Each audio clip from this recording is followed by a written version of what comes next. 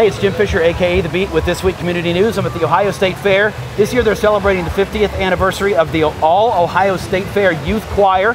And I've got a current member and an uh, alumni here with us uh, to share a little bit of their experience in the group. Vanessa Gibson, she's from Pickerington, and uh, Tracy Kolk Bowling, also from Pickerington, strangely enough. But you, there's a, a, a, connection there that you'll tell us about in a little bit, right? Mm -hmm. so, Vanessa, how many years have you been in the group? I've been in the choir four years. This is your fourth year. Mm -hmm. obviously, it's fun. You keep coming back. Yes, I love it. Yeah. What are some of the fun things you've had a chance to do while you've been down here? Um, definitely making new friends that have just lasted forever, and um, getting to have a lot of fun fair food. oh, absolutely, fair food, right? yeah. And you guys stay here for a week, right? Oh, no, we stay here for 18 days. 18 days? Oh, you come before the fair starts? Yes, we come six days before the fair starts, okay. and we're here the entire time until it ends. Uh, Tracy, this is uh, an anniversary year for you, right? You were in the group uh, when? 1983. 1983, so your 30th, 30th anniversary. anniversary. Um, and uh, your daughter and Vanessa were in the group for a couple years together? Yeah, Kathy was, my daughter was in it from 2008 to 2011, and then she was in the Cardinal Chorale following year. What are some of the fun memories you have from being in the choir?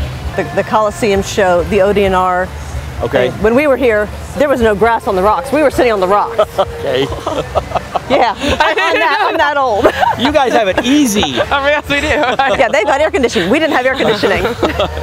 Um, so, and the rehearsals uh, are, are probably sort of a little helter-skelter, but probably a lot of fun too. Yeah, we rehearse like all day and during rehearsal week and then when the fair starts that's when we start doing our like performances and then getting into the rhythm of things.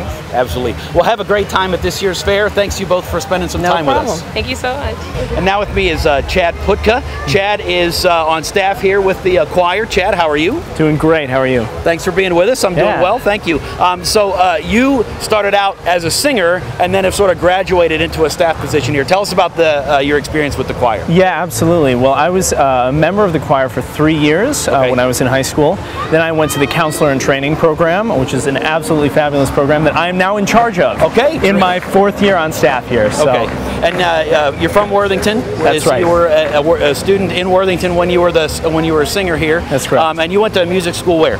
I went to Oberlin Conservatory, which is up in Lorain County, Ohio. Okay, so a great experience for you to get to spend the summer here with the choir too, right? Oh yeah. Uh, so you're on site for about two and a half weeks mm-hmm. here. I guess tell us about the process that leads up to that, because there's Absolutely. a whole uh, a selection process that takes place prior. Right. Well, uh, the selection process for choosing the choir is happening all throughout the year. Okay. Um, we generally send out the applications um, around February, and we contact schools from all around the state, but also okay. staff people have their eyes out for kids that might be good choices. Okay. Um, and then uh, once people are chosen around May, we send out acceptance letters and that sort of thing. Sure. And then come uh, Come July, the staff show up a couple days early, then the singers show up, uh, descend upon the fairgrounds. Sure. We rehearse for about six days straight, okay. eat, sleep, sing. That's about it. And then uh, after that, we're into performances. And by the end of the fair, they will have about uh, 60 to 70 songs in their repertoire that they can choose from. And do you know how many performances, say, from the beginning to the end of the fair? Absolutely. Um, so uh, it's about 100, That's maybe even more. We That's do several incredible. kind of planned performances a day, but we also serenade vendors around the stair, okay. uh, the the fair, and, and and people that have have done good things for us. So I got you. Very good. Um, so is there something that stands out in your mind too? I mean, obviously, as a singer who's decided to sort of stick around, if you will, Right. um, what what's sort of the attraction for you? Um, well, it's interesting and it's kind of changed. You know, when I was in the choir, it was about the musical experience, yes, but it's also about making uh, great friendships and relationships with people around the state. And now that I'm on staff, I've kind of, of course, shifted my perspective. Sure. And it's about giving back and giving that experience to, to people that I so enjoyed when I was a singer. And being on staff for the 50th uh, anniversary celebration has got to be a fun experience. Oh too. Yeah, it's awesome. We're doing some uh, interesting things, going kind of back to our roots. Uh, some of the music that we're doing is favorite stuff from back in the old days Okay. of the choir, and there are a few uh, venues that we're revisiting on the fairgrounds that we haven't been to in a while. So it's really exciting time.